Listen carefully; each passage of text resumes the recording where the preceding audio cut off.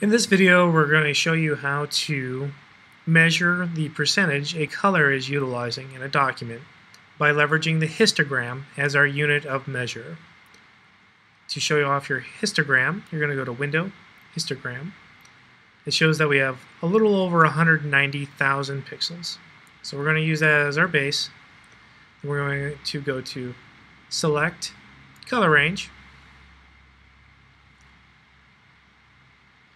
and that's going to show us that we have 94,249 black pixels in this document.